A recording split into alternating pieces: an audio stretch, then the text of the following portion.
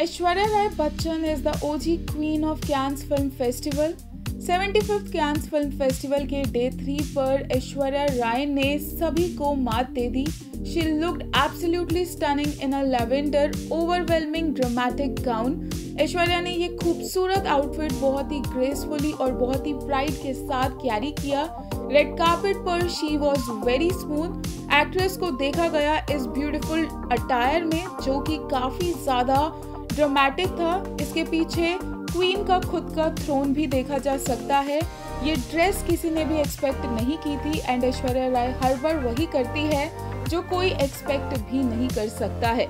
ऐश्वर्या का अटायर हो, उनकी लुक्स हो, उनका मेकअप हो या फिर एक्सेसरीज हो, हर चीज़ यहाँ पर ऑन पॉइंट है और ये बात ऐश्वर्या खुद भी जानती है क्योंकि उनके एक्सप्रेशंस इस बात को साफ़ ज़ाहिर कर रहे हैं। ऐश्वर्या ने बहुत ही प्राइड के साथ और बहुत ही ग्रेसफुली रेड कार्पेट पर वॉक किया और उनके जो पोजेस थे, वो तो फैंस का दिल ही ले गए। ऐश्वर्या यहाँ अपने फैंस के लिए फ्लाइंग किस करती नज़र आई।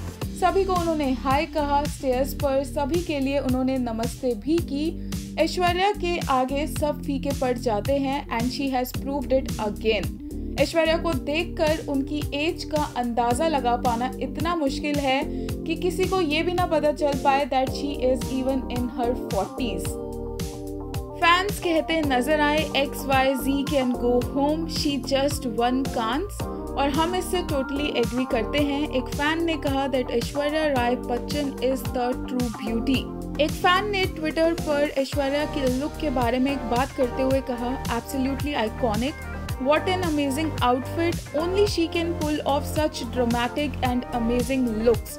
Twitter पर continuously Aishwarya Rai Bachchan and Aishwarya at Cannes trend कर रहा है